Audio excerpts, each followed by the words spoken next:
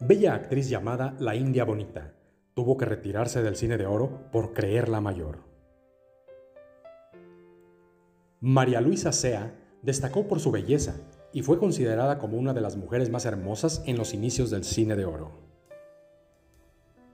En el cine de oro fueron una gran cantidad de actrices las que destacaron por su hermosura.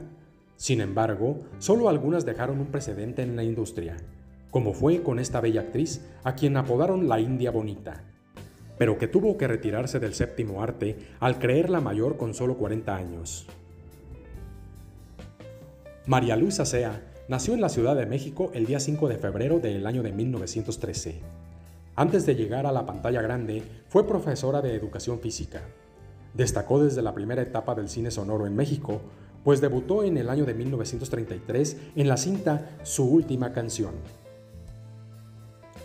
a esa cinta le siguieron otros proyectos como La Llorona de 1933, Sagrario 1933, Juárez y Maximiliano 1934, Hoy comienza la vida 1935, Irma la Mala 1936, Honrarás a tus padres 1937, La Gran Cruz 1937, El Bastardo 1937 y Bajo el Cielo de México 1937, entre otras hasta que en el año de 1938 participó en el proyecto más ambicioso de la industria. Hasta el momento, La Sandunga fue una cinta que contó con la participación de la que en ese momento era una estrella de Hollywood, Lupe Vélez, además de otras importantes figuras de la época como Arturo de Córdoba y Joaquín Pardavé. Ya siendo considerada una estrella, protagonizó La India Bonita, junto al debutante Emilio Tuero. Fue de esta cinta de donde tomó el apodo que la acompañó durante el resto de su carrera, y también la película que la consolidó como una de las mujeres más bellas del cine de oro que comenzaba a florecer.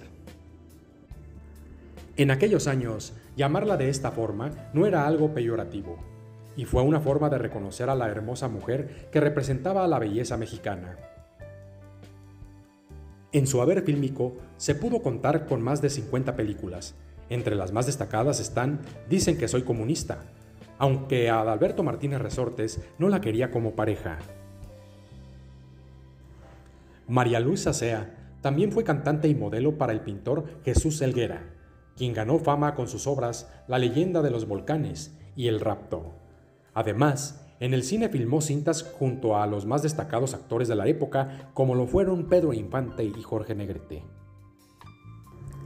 Para los años 50, cuando el cine de oro todavía estaba en su apogeo, la actriz comenzó a ser llamada mayor, para interpretar muchos personajes, una razón por la que decide retirarse del séptimo arte.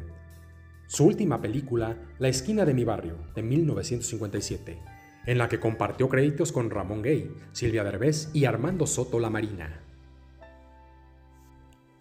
La bella actriz María Luisa Sea falleció el 27 de diciembre del 2002 en la Ciudad de México.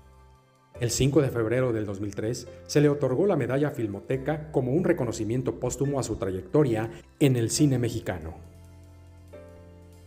Y bien amigos, con esta historia llegamos al final de nuestra emisión, esperando haya sido completamente de tu agrado y lo hayas disfrutado tanto como yo.